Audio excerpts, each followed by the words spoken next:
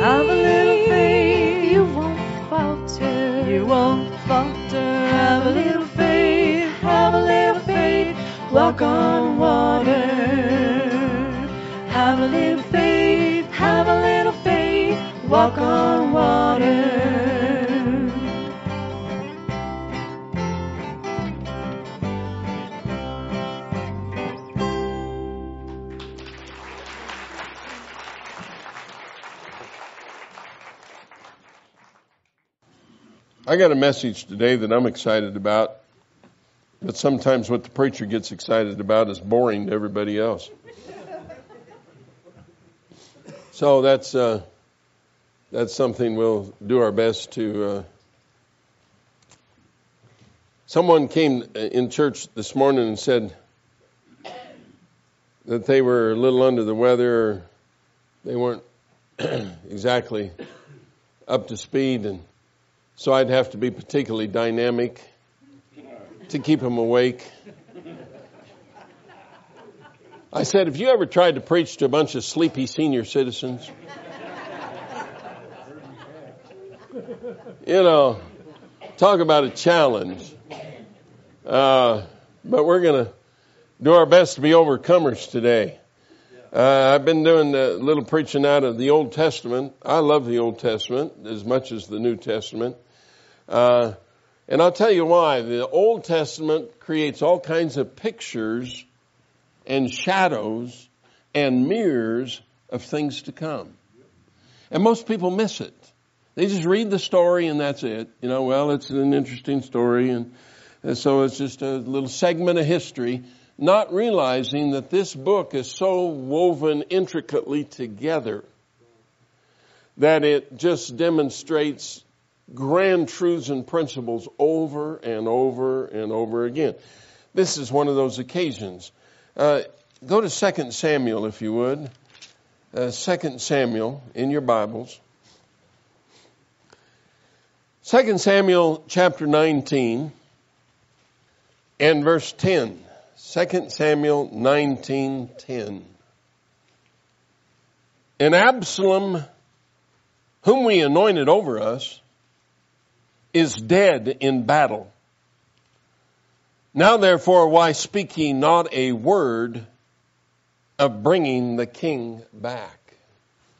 Let's pray. Father, I trust that today you would grant us a supernatural wisdom as directed by your Holy Spirit to pursue the scriptures that are in front of us with all the authority of the Word of God. Lord, we find no authority in ourselves. We find no particular reason to pursue these things because of human instincts, but rather, Lord, because of divine instruction and direction. And so I pray that today we'll get something from these, these verses and these chapters that will have very significant meaning to every person here. And I should thank you for it. In the name of our Lord and Savior, the Lord Jesus Christ, we pray. Amen. All right, let's rewind and get the story. King David was dealing with a rebellion. And the rebellion was initiated by one in his own family, as a matter of fact, his own son, his son Absalom. And Absalom had generated a, a number of people that were loyal and faithful to him. And Absalom finally determined that it was his time to make a move. And so he gathered his followers and uh, initiated this great rebellion against his own father, the king, King David. And uh, when the word came out that uh, Absalom had amassed a considerable army, David and his counselors decided that it was time for David to at least temporarily make a run for it. They left Jerusalem, not only for their own protection, but for the protection of the population of Jerusalem itself. They left. And uh, uh, due process of time, uh, David's men, under the leadership of his five-star general Joab, met the forces of Absalom, and Absalom's army was defeated, and Absalom himself was killed. And so, after in the aftermath of all this, uh, some of the priestly bunch, some of the hierarchy, particularly in the religious efforts, said, "Well, why isn't anybody talking about bringing the king back?" Now, what's being created here is a picture of a much larger scenario. He came into his own, and his own received him not. But as many as received him, to them gave he power to become the sons of God. The Jewish people corporately, now there were individual exceptions to be sure, but corporately rejected their coming king, Jesus Christ. Was not his kingship announced at his birth by the angels? Did not even the priests and the scribes assent to the fact that one day they awaited a Messiah king? And yet as he pursued his ministry, his ministry of healing and caring and compassion, and ultimately dying on the cross to provide salvation for every sinner, he was rejected. And so, Jesus fled. He went away. Where'd he go? Well, he went to heaven. But someday someone's going to say, why don't we bring the king back? How about that? That's a notion. That's an idea. Well, what this message has to do with, we're going to examine five different individuals within the framework of this story. And in those individuals, we're going to see five attitudes about the return of the king. Not everyone's excited about the king returning. I mean, really. When you stop and think about it, and you read the book of Revelation, and you understand what God has to say about how the king is going to rule when he returns, not everyone's thrilled about that. That Bible says he's going to rule with a rod of iron. In other words, his word will be final. There'll be no appeal to another Supreme Court. He will be the Supreme Court. He will be the legislator. He will be the president, prime minister. He will be the king. And he will rule with absolute dictatorial authority. Now, for those of us that love him and love his word and love his legislative dictates, we're going to say, man, that'll be great. Won't that be wonderful? You know, we won't deal with all the hypocrisy that we deal with today.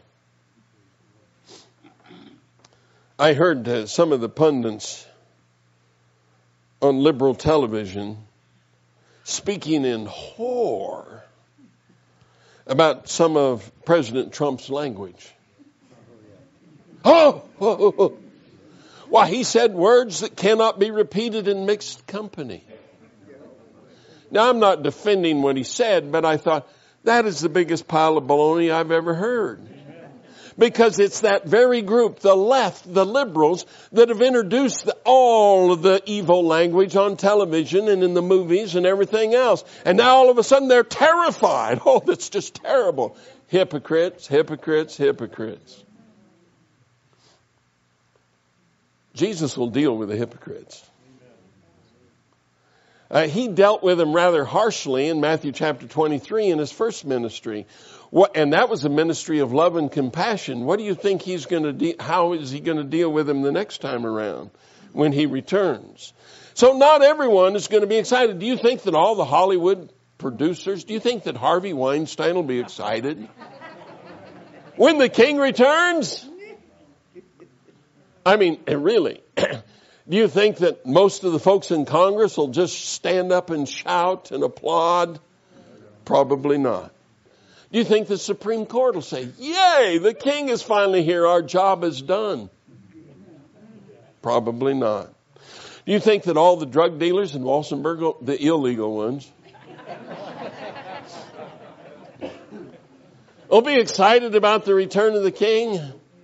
How about all those that profit by pornography and the exploitation of children? Do you think that crowd will? No, there'll be a lot of people that won't be excited. But some will when the king returns. And what we're going to see in examining five individuals that are all inframed in this tremendous story that actually takes several chapters, so we can't read the whole thing. We're just going to have to kind of cherry pick things out of it today. But uh, we're going to see five different attitudes about the return of the King. Now, if you're a Bible believer, if you're saved, if you love the Lord Jesus Christ, I can't help but believe that you're going to be one of those who are going to be cheering for the return of the King. Uh, Bill Gaither years ago wrote a song about the King is coming. The King is coming. It's become a very popular song particularly with believers. Why? Why shouldn't we be excited about the return of the king? So, the king. Well, the priests, the religion, that bunch are the last to recognize the great need to bring the king back. Well, that matches with a verse I already quoted to you. He came into his own, and his own received him not. We'll go back to, uh, uh, forward, excuse me, in chapter 19 to verse 13. And say ye to Amasa, now this is personality number one, Amasa. Art thou not of my bone and of my flesh? God do so to me, and more also, if thou be not captain of the host, before me continually in the room of Joab. Now that's just kind of poetic language to say, I'll tell you what, Amasa, I'll make you second in charge to Joab, the five star general. And he bowed the heart of all the men of Judah, even as the heart of one man, so that they sent this word unto the king, return thou and all thy servants. So the king returned and came to Jordan, and Judah came to Gilgal to go to meet the king, to conduct the king over Israel. Well now, who is this Amasa dude anyway? Well, we need to find out. Go back to chapter 17 chapter 17, verse 25. And Absalom made Amasa captain of the host instead of Joab, which Amasa was a man's son, whose name was Ithra, an Israelite, that went into Abigail, the daughter of Nahash, sister to Zeruiah, Joab's mother. Now wait a minute. Absalom, the rebeller. Absalom, a tremendous type of the Antichrist as you study the scriptures. Absalom, the one who foments all this rebellion against the king, says to Amasa, how about if I make you general? And Amasa said, oh, that sounds good to me. Yeah, I kind of like that. You know, that, that sounds, that sounds excellent. I'll be in charge of all of the military operation that's about to ensue. Now wait a minute. It's not but a little while later, and David says, I'll tell you what, Amasa, I'm willing to give you a position in the Pentagon after the rebellion is put down. He says that. You know what that is? That's a phenomenal picture of grace and mercy. tremendous picture of grace and mercy. Because you see, in reality, every human being has an element of rebellion in their heart. That's why the Bible says all have sinned and come short of the glory of God. As it is written, there is none righteous, no not one. But Amasa, the problem is, Amasa, well, let's, let's back up for a minute. He, uh, he accepts the grace and mercy of David, but um, let's uh, let's go over to uh, chapter 20, chapter 20 and verse 4.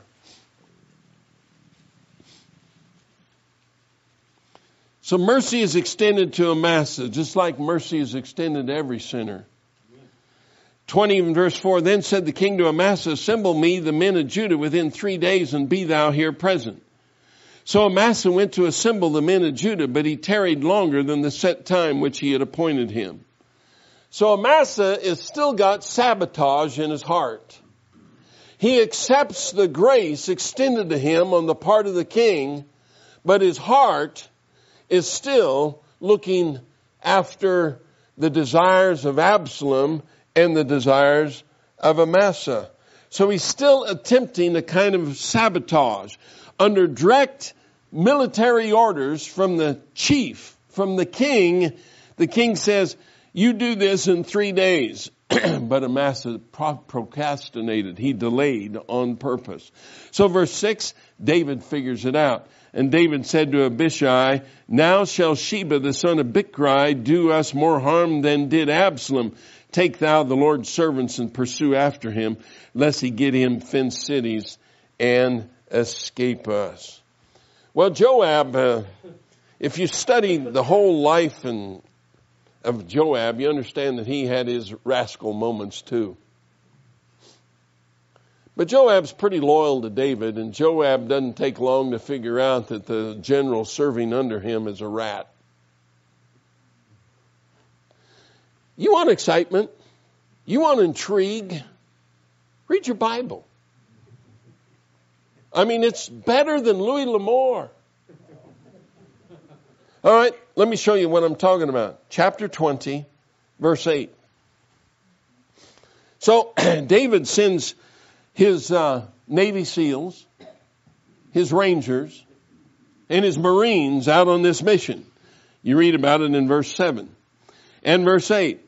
When they were at the great stone which is in Gibeah, Amasa went before them and Joab's garment that he had put on was girded upon him, and upon it a girdle with a sword fastened unto his loins in the sheath thereof. And as he went forth, it fell out. And Joab said to Amasa, Art thou in health, my brother? Now Amasa was supposed to meet them within the three day limit. He just conveniently disappeared. And so Joab and the troops are out looking for this other deadbeat, and they encounter Amasa. And Joab took Amasa by the beard with the right hand to kiss him. That's an Oriental custom, you see. These guys aren't gay. Don't worry about it. But Amasa took no heed to the sword that was in Joab's hand.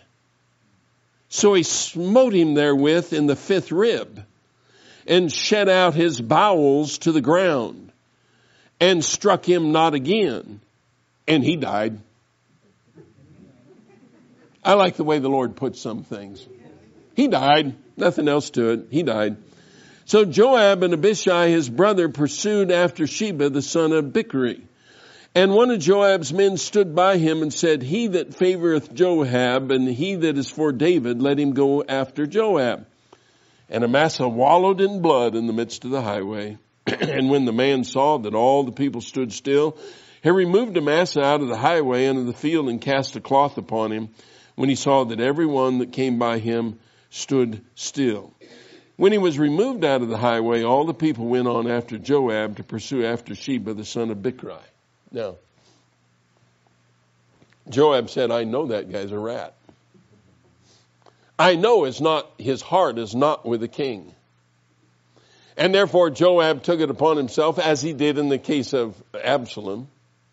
He said, I'm going to extinguish this guy. In the words of the mob, I'm going to rub him out. I'm going to whack him.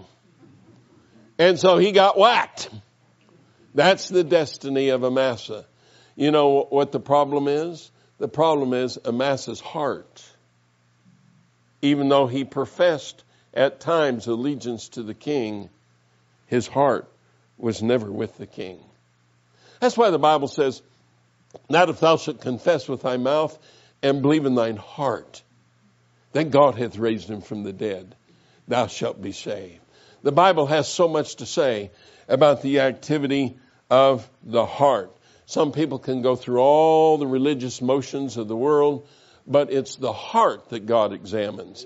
It's the heart that He inspects. It's not the outside, it's the inside. Let's look at uh, suspect number two. Go back to chapter 19. Chapter 19.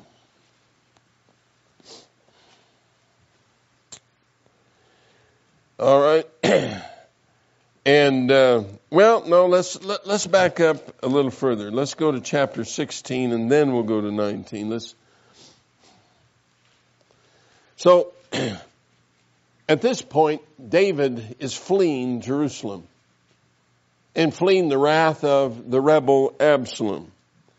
And in verse 5 of chapter 16, and when King David came to Bahurim, Behold, thence came out a man of the family of the house of Saul, whose name was Shimei, the son of Gera.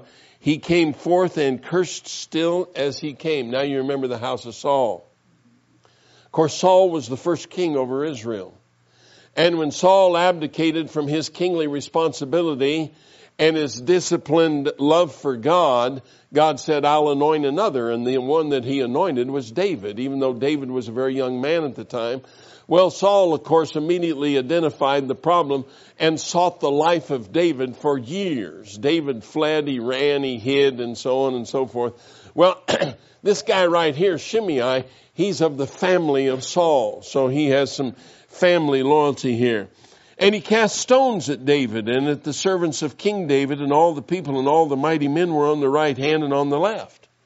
So this guy, he's come out. David and his troop are fleeing. And this guy's out throwing rocks at David. Well, and thus said Shimei when he cursed, Come out, come out, thou bloody man, and thou man of Belial. Belial means the devil. And the Lord hath returned upon thee all the blood of the house of Saul, in whose stead thou hast reigned. And the Lord hath delivered the kingdom into the hand of Absalom thy son. And behold, thou art taken in thy mischief, because thou art a bloody man. Well, David was a man of war. No question about it, but he was pressed into those situations through no particular desire of his own, dating all the way back to Goliath and that whole story. Then said Abishai of the son of Zeruiah unto the king. Now Abishai is one of the loyal men under the command of David. Why should this dead dog curse my lord the king? Let me go over, I pray thee, and take off his head you kind of got to like Abishai. You know, you just do. You kind of like, you, you got to say, yeah, this guy, you know, he'd fit well in the Huerfano Community Bible Church. You know, he'd probably do okay right here. Verse 10. And the king said, What have I to do with you, ye son of Zeruiah? So let him curse, because the Lord hath said unto him, Curse David. Who shall then say, Wherefore hast thou done so? And David said to Abishai and all his servants, Behold, my son, which came forth of my bowels, seeketh my life. How much more now may this Benjamite do it? Let him alone and let him curse, for the Lord hath bidden him. So David, once again, exercising a phenomenal amount of grace and mercy, Said, let him throw his rocks, let him curse, let him lie, let him slander. It's okay. It's okay. Just leave him alone.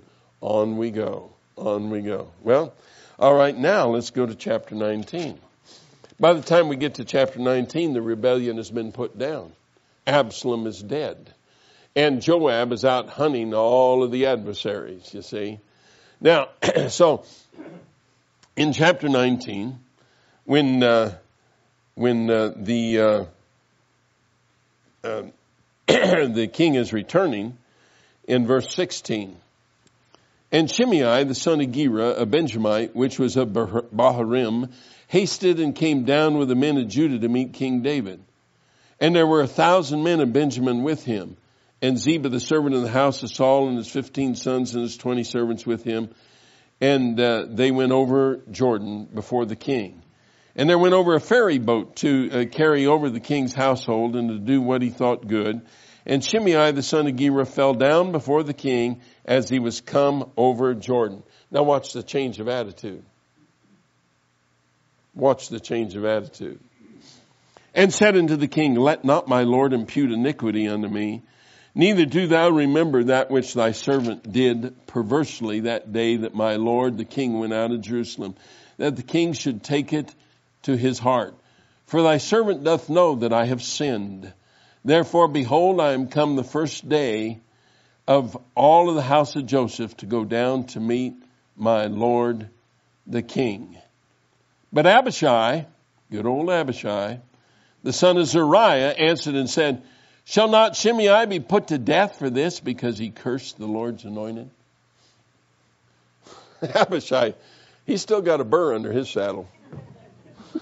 He's saying, you know what? I'd still like to take this dude's head off. now all of a sudden, Shimei's attitude is 180 degrees opposite. Oh, forgive me. I've sinned. I cursed you. I shouldn't have done that. My, oh my, oh my.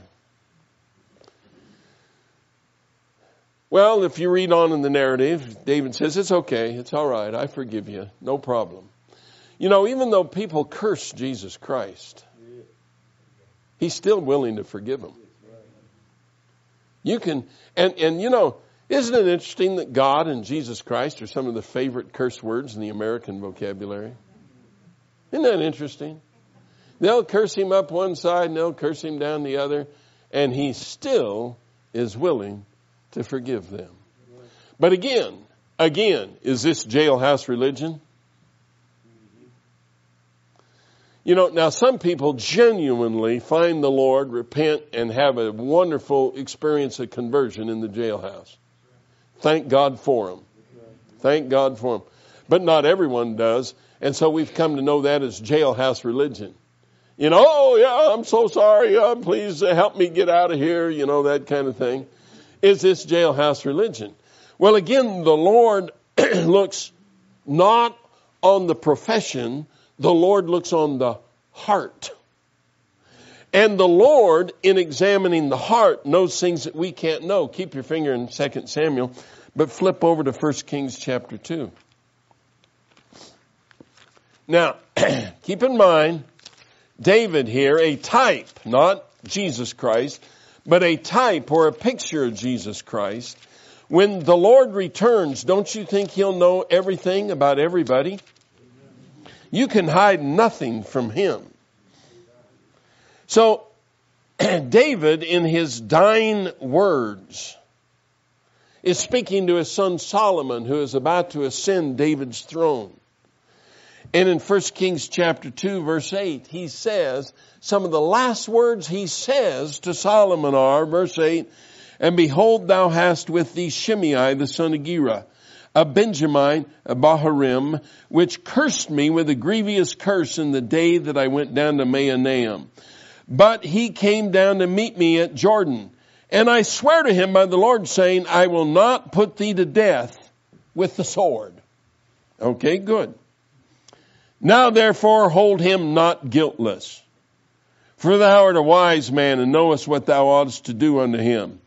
But his hoar head bring thou down to the grave with blood.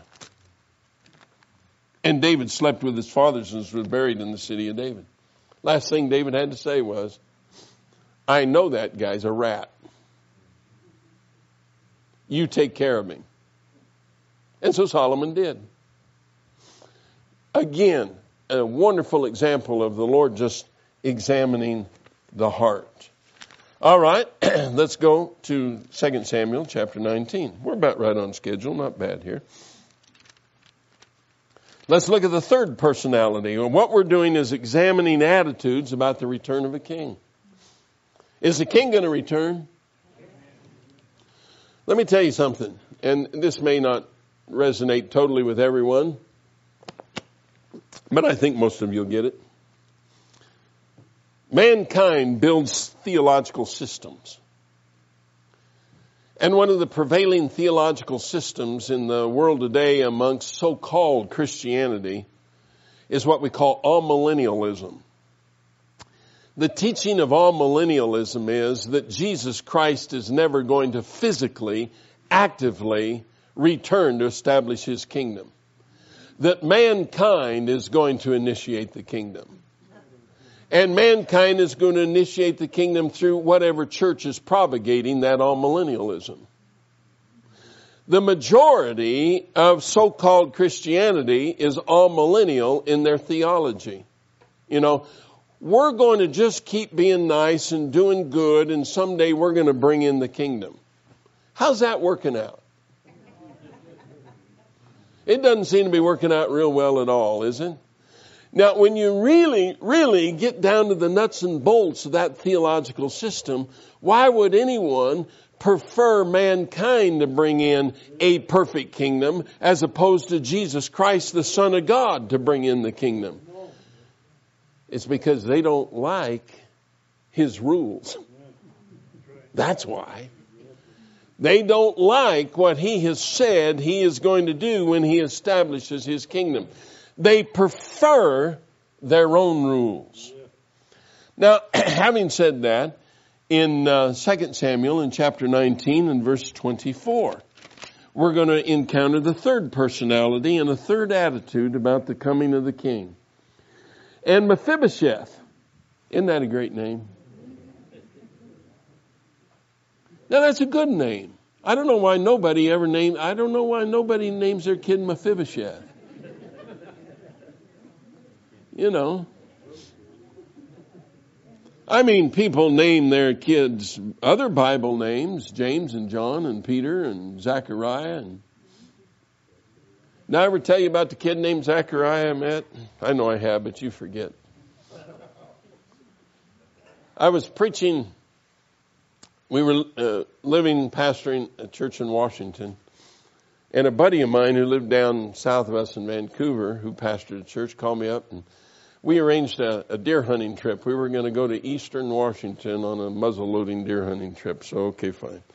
So he said, well, can you come down Sunday afternoon? You have somebody that can preach for you and, and uh, preach for me Sunday night. And then immediately after the service, we'll take off. I said, okay. So I drove down there and threw all my gear in the truck and, and I got there a little early. And there were just a couple cars in the parking lot. So I sat in my truck a little bit and then I decided, well, I'll wander in and sit down. And so I wandered in, sat down and there were just three or four people in there and, and a couple of little kids. And this one kid came up to me and he just started to talk, visit with me. Well, I like that, you know. I, so we were visiting a while. I said, uh, what's your name? He said, well, my name is Zachariah. I said, man, that's a good Bible name. Yes, I know. I said, well, Zachariah, how old are you? He said, well, I'm 10. I said, okay, that's, I said, that's a pretty good age to be. I said, uh, what do you want to be when you grow up? Oh, he didn't flinch. He said, I want to be a dentist. I thought, well, that's kind of unusual for a 10 year old, you know. I mean, yeah, most people don't make up their mind to be a dentist until they're halfway through college or something, you know. And I said, you want to be, and you know, I thought, well, he'd say, well, I want to be a firefighter or a policeman or a whatever, you know. But I want to be a dentist. I said, why do you want to be a dentist? He said, because I want to hurt people.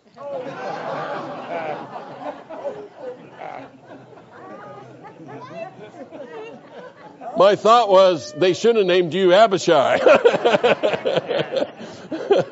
not Zachariah. So I said, well, Zachariah, why do you want to hurt people? He thought about it and. He says, yeah. Now, this is a 10 year old. He said, I think it's because I got some German blood in me. you got any German in you, Stu? Negative. No, negative. Okay. Oh my. Now Mephibosheth, that's a good name. He turns out to be a good guy. All right, 19 verse 24. And Mephibosheth, the son of Saul, came down to meet the king. and had neither dressed his feet, nor trimmed his beard, nor washed his clothes from the day the king departed unto the day he came again in peace.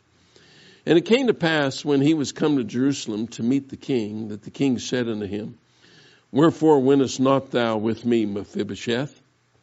And he answered, My lord, O king, my servant deceived me, for thy servant said, I will saddle me an ass that I may ride thereon and go to the king, because thy servant is lame.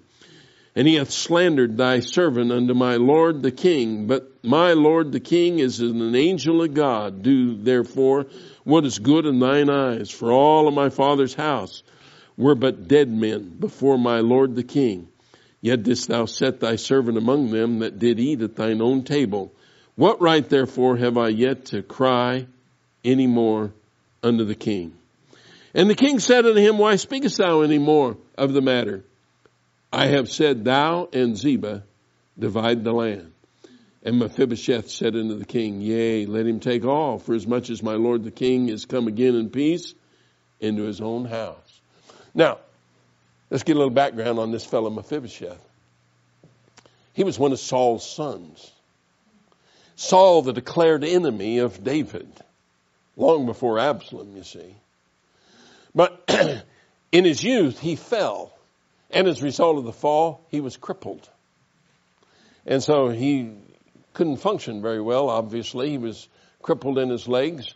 And uh, so David took great compassion and mercy on Mephibosheth, took him into his own household, fed him, clothed him, housed him, took care of him in every uh, possible kind of way. And so when Mephibosheth came down to meet the king, the king asked an obvious question. He said, Where you been? Why haven't I seen you? Mephibosheth said, Well, he said, My servant deceived me. He was going to saddle an animal for, uh, an animal up for me so that I could come and join you, but he deceived me, and in his deception, he was slandering you. He was cursing you. He said, So you can see from the day that you left. I've been in mourning and grief. God, uh, David said, okay, Mephibosheth, I'll buy your story. I'll get into it. All right. He said, I tell you what, you and Ziba, your servant, you, you take all that land over there and, and that's yours. And I will continue to provide for you. Mephibosheth is a great story. I, uh, I don't have time to elaborate very much on it, but I want to tell you very quickly. If you study Mephibosheth, you see a whole other set of types. Number one, he is lame because of a fall, 2 Samuel 4 4. You know why Adam and Eve were lame spiritually? Because of a fall. The fall from grace, fall into sin, you see. And so Mephibosheth is a type of the sinner. Anything lame in Leviticus chapter 21 is unacceptable to God. You remember the Jews under the Levitical uh, statutes of offerings were, excuse me, ordered to bring various kinds of uh, uh, sacrifices to the Lord. Nothing lame. Nothing lame. It couldn't be blind. It couldn't be halt. It couldn't be lame. It couldn't have any kind of a blemish on it. If it was a lamb or a goat or a bullock or whatever it was, it had to be perfect in every detail. And so uh, God lays that out. And then he even translates that down to the priesthood. A man couldn't serve as a priest if he had any blemishes or lameness or anything like that. The whole idea is that it's unacceptable to God. Now, what is that? That's a picture of sin, you see. Sin is unacceptable to God. That's the, that's what's being transmitted here. All right, now, Interestingly, we have a phrase in our colloquial language that we use a lot. Lame excuses. You ever heard that? How many of you have ever heard a lame excuse? Yeah, well, everybody has, of course. A lame excuse. You know, I, it, eh, nobody hears more lame excuses than the preacher.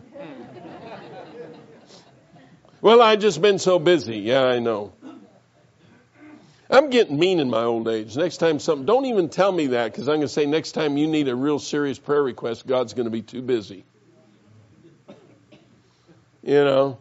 So, Mephibosheth is lame. He's a picture of a broken down sinner. So what you need is a flawless priest to work in your behalf. The good news is the lame are invited to the king's table over in Leviticus or uh, Luke chapter 14. Remember that? The Lord sent some emissaries out and he said, You invite some people to the king's wedding, the king's son's wedding. Well, one fellow said, I, have got land I'm going to go buy. Another fellow said, I got this business to take care of. Another fellow said, well, I just married a wife. You know, I can't come. And so what did the Lord say? He said, all right, you go out and you gather the lame and the afflicted and you gather every uh, broken down homeless bum that you can find and you bring them to the wedding. Now again, what we have here is a picture of grace because spiritually we all are lame. Every single one of us, you see. And the Lord says, I'll tell you what, I'll take them under the auspices of grace. So Mephibosheth paints a, a, a, wonderful picture. I wish I had more time to elaborate, but uh, I must uh, I must carry on here because I, I got I still got pages to go here. All right, Mephibosheth. So his attempts to get to the king failed in verse 26. The servant lied to the king about his efforts. The servant lied to the king about his efforts. You know, the world is lying to you about the king returning. They poo poo it, they make little of it, they try to disqualify it in every way, shape, or form. But the king is coming. Make no mistake about it. One day, one day he will be here. Let's examine fellow number four. Chapter 19 of 2 Samuel. Verse 31. I really like this guy. And Barzillai, the Gileadite, came down from Rogelim and went over Jordan with the king to conduct him over Jordan. Now Barzillai was a very aged man, even fourscore years old. And he had provided the king of substance while he lay at Mahanaim for he was a very great man. In other words, he was wealthy. He was loaded. And the king said unto Barzillai, Come thou over with me, and I will feed thee with me in Jerusalem. And Barzillai said unto the king, How long have I to live, that I should go up with the king unto Jerusalem? I am this day fourscore years old. And can I discern between good and evil? Can thy servant taste what I eat or what I drink? Can I hear any more the voice of singing men and singing women? Wherefore then should thy servant be yet a burden unto my lord the king? Thy servant will go a little way over Jordan with the king, and why should the king recompense it me with such a reward? Let thy servant, I pray thee, turn back again, that I may die in mine own city and be buried by the grave of my father and my mother. But behold, thy servant Chimham, let him go over with my lord the king, and do to him what shall seem good unto thee? And the king answered, Chimham shall go over with me, and I will do to him that which shall seem good unto thee, and whatsoever thou shalt require of me, that will I do for thee. And all the people went over Jordan, and when the king was come over, the king kissed Barzillai and blessed him, and he returned into his own place. And the king went on to Gilgal, and Chimham went on with him, and all the people of Judah conducted the king, and also half the people of Israel. All right, so we have this old timer Barzillai. You know what Barzillai did? While the king was in exile, Barzillai did everything that he possibly humanly could to provide for the needs of the king. He made sure that food and drink and supplies of every possible thing that he had access to were trafficked to the king. And consequently, Barzillai gets a great blessing from the king. The king says, why don't you come on up to Jerusalem with me and just live in my house? I'll make, I'll make even a greater man out of you. Barzillai says, you know what? That's okay. I'm an old guy. I'm, I'm going to die here pretty soon, and I just want to go back to my own city, but I have a servant here. I have a servant here. and you can do whatever you think is right by him in my stead. King says, okay, I'll take care of him real well. What's the picture? Here it is. The king is presently in exile. He came into his own, and his own received him not. He's presently in exile. But there are those that want to do everything they can to aid the king. Now, what the king needs is not exactly what David needed, but what the king desires is aid and help where his real heart is. And the king's present heart is he's not willing that any should perish, but that all should come to repentance. And so the king says to all of the Barzillais in Huerfano Community Bible Church, hey, isn't that great news about 36 people getting saved over there in one meeting in Cambodia? Isn't that terrific news? Mm-hmm. The, the, the king says, if you'll aid and abet my program while I'm in exile, I will reward thee when I return. It's in the text, folks. It's in the picture. It's in the type. I'm looking forward to some kind of reward. You say, well, you mean uh, the Lord's going to make you a rich man? I'm not worried about that. You know what I want to hear? I just want to hear one thing. Well done, thou good and faithful servant. That's all. That's all. Barzillai, and ultimately Barzillai's sons benefit, his own family benefits. Keep your finger here, go to 1 Kings again, chapter 2. 1 Kings chapter 2. Aren't these great stories? I mean, this is a wonderful book.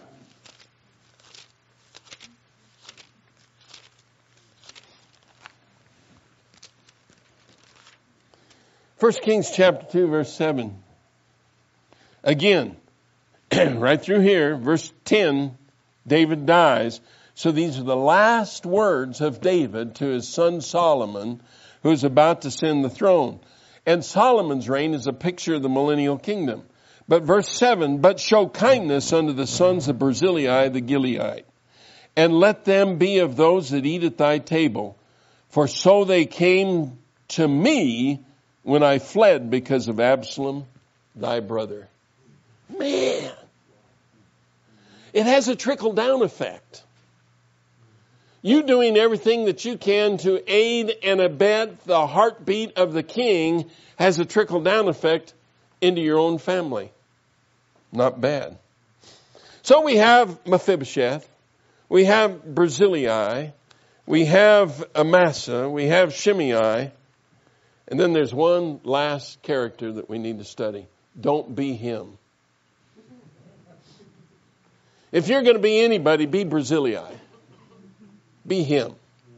Be him. But there's one last character that we need to uh, we need to study. Uh, chapter 20, and verse 1. And there happened to be there a man of Belial whose name was Sheba, the son of Bichri and Benjamite, and he blew a trumpet and said, We have no part in David, neither have we inheritance in the son of Jesse, every man to his tents, O Israel. So every man of Israel went up from after David and followed Sheba the son of Bichri. But the men of Judah clave unto their king from Jordan even to Jerusalem. Verse 6. And David said to Abishai, Now shall Sheba the son of Bichri do us more harm than did Absalom. Take thou thy Lord's servants and pursue after him, lest he get him fenced cities and escape us.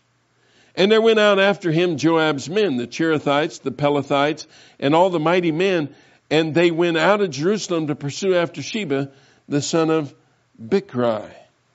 So, we got this thing going on, and in the immediate ensuing verses, we've already read about Joab taking care of Amasa. And then we get down to verse 15.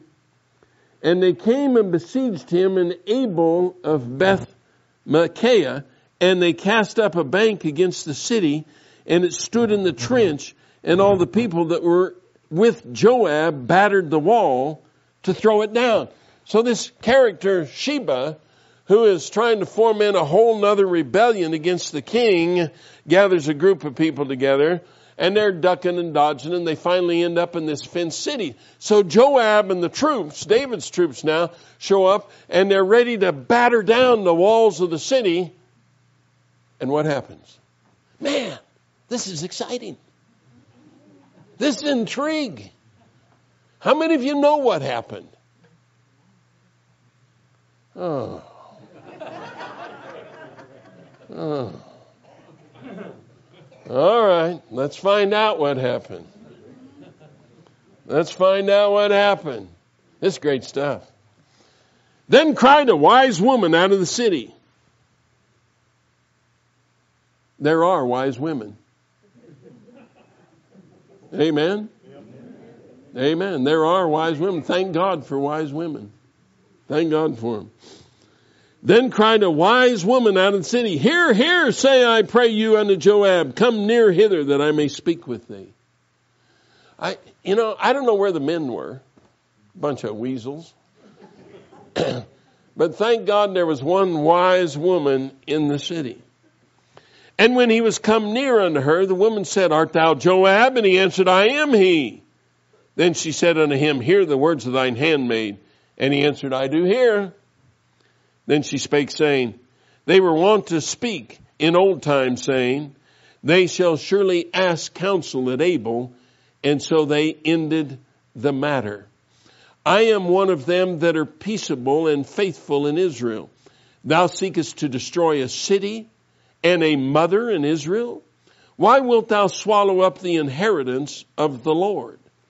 And Joab answered and said, Far be it, far be it from me that I should swallow up or destroy.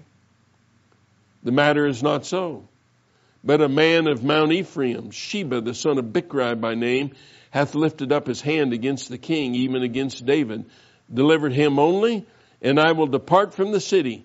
And the woman said unto Joab, Behold, his head shall be thrown to thee over the wall. This is a tough woman. It wasn't a tough lady, amen? Yeah, no kidding, boy. But she spoke in words of great wisdom to Joab. She said, Why in the world would you destroy an entire city? And Joab not only had the heart for that, but the capability of it. He was a warrior of all warriors. This guy was one mean dude. But this woman's wisdom struck resonance in the heart of Joab. He said, okay, all right, I get it.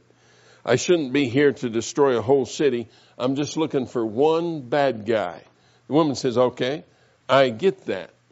Verse 22, then the woman went into all the people in her wisdom and they cut off the head of Sheba, the son of Bichri, and cast it out to Joab. And he blew a trumpet and they retired from the city, every man to his tent, and Joab returned to Jerusalem unto the king. Wow. As many today, Sheba wanted nothing to do with the king, nor is willing to recognize him as king. He said, neither have we an inheritance with him. Tragically, the majority of the world wants nothing to do with the king. Nothing to do whatsoever. And so there is a destiny for the nations that harbor that kind of sentiment. Go with me to Revelation 19, our last passage. Revelation chapter 19. Revelation chapter 19. now here we have a glossary, technicolor picture of the king's return. He's coming back. He is coming back. Oh, I don't believe that. Doesn't matter. Doesn't matter if you believe it or not. You think God's impressed with what you believe or don't believe? It just doesn't matter.